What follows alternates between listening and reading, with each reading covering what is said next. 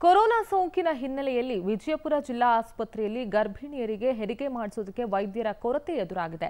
ಸ್ತ್ರೀರೋಗ ಹಾಗೂ ಅರವಳಿಕೆ ತಜ್ಞರಿಗೂ ಕೂಡ ಕೊರೋನಾ ಸೋಂಕು ತಗುಲಿದ್ದು, ಹೆರಿಗೆ ವಾರ್ಡ್ನಲ್ಲಿ ಸಮಸ್ಯೆ ಉಲ್ಬಣಗೊಂಡಿದೆ. ಕಳೆದ ಐದು ತಿಂಗಳಿಂದ ಈಚೆಗೆ ಜಿಲ್ಲಾಸ್ಪತ್ರೆಯಲ್ಲಿ ತಾಯಿ ಮತ್ತು ಮಕ್ಕಳ ಚಿಕಿತ್ಸೆಯ ವಾರ್ಡ್ ಆರಂಭಗೊಂಡಿದೆ. ಇದೇ ವೇಳೆ ಕೊರೋನಾ ಜಿಲ್ಲಾದ್ಯಂತ ಹಬ್ಬಿದ ಕಾರಣ ಖಾಸಗಿ ಹೆರಿಗೆ ಆಸ್ಪತ್ರೆಯ ಗರ್ಭಿಣಿಯರು ಕೂಡ ಇದೇ ಆಸ್ಪತ್ರೆಗೆ ದಾಖಲಾಗ್ತಿದ್ದಾರೆ. ಇದರಿಂದ ವೈದ್ಯರ ಕೊರತೆ ಕೂಡ ಜಾಸ್ತಿ ಆಗಿದೆ. ಇನ್ನು ಬೇರೆ ವೈದ್ಯರನ್ನ ಆದಷ್ಟು ಬೇಗ ನೇಮಕ ಮಾಡಬೇಕು ಅಂತ ರೋಗಿಗಳು ಒತ್ತಾಯವನ್ನ ಮಾಡ್ತಾ ಇದ್ದಾರೆ.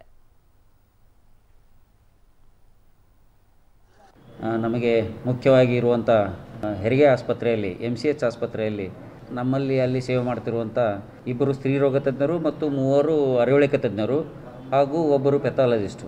ಅಂದರೆ ಒಟ್ಟು ಆರು ಜನ ಹೆರಿಗೆ ಆಸ್ಪತ್ರೆಯಿಂದ ಪಾಸಿಟಿವ್ ಅಂತೇಳಿ ಹೊರಬಂದಿದೆ.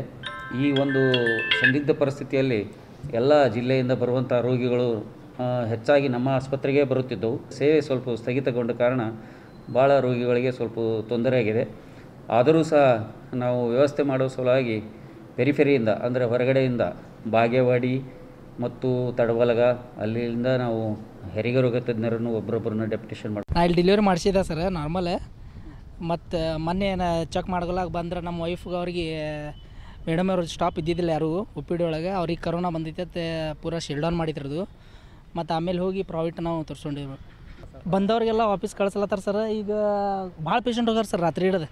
ಯಾರು ಸಿಜರಿನ್ ಅಂತ ಹೇಳಿ. ನಾರ್ಮಲ್ ಇದ್ರೆ ಅಷ್ಟೇ ಮಾಡ್ಲತ್ತಾರ. ಸಿಜರಿನ್ ಇದ್ರೆ ಎಲ್ಲ ಹೊರಗೆ ಕಳ್ಸಲತ್ತಾರ. ಬಿ ಎಲ್ ಡಿ ಅಲ್ಲ ಮೀನು ಆ ಕಡೆ ಬರೆದು ಕಳಿಸ್ಲತ್ತಾರ ಸರ್. ಸ್ಟಾಪ್ ಯಾರೂ ಇಲ್ಲ.